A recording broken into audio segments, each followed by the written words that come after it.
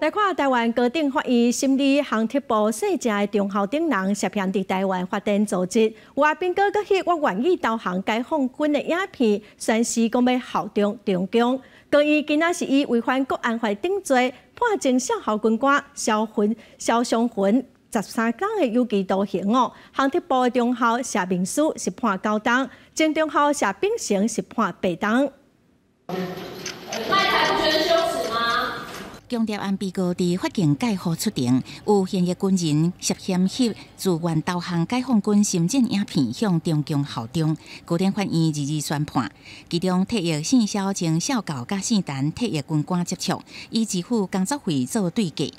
介绍退役军人替中国发展组织，判刑十三年。肖祥云犯贪污治罪条例之违背职务收受贿赂罪，处有期徒刑九年。又犯陆海空军刑法之交付关于中华民国军事上依秘密文书罪，共二罪，各处有期徒刑五年六月，应执行有期徒刑十三年。退役线下正中教，那想要切换现役线下军人，在 C H 四七七两克军用直升机返回赛去大陆地区，高知是现役军人翕刀枪影片，可能判刑八年。为摩西直升机叛逃线下中教，可能判九年。翕刀枪影片姓廖的军人涉嫌违背职务受贿赂罪，可能判刑五年六个月；姓康甲姓何的军官收受红包，可能判七年两个月加七年四个月；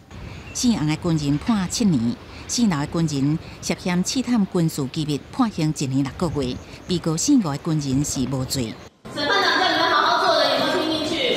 互对方吸收的主嫌姓陈的体的军官，目前多亡通缉。一审宣判了后，专案是还会当上诉。这件案件包含陆军、航特部、华防部、也甲金防部等营区真济的官士兵拢有牵涉到。行动全台北中南东，也有外岛拢有营区卷入强谍疑云，引起社会关心。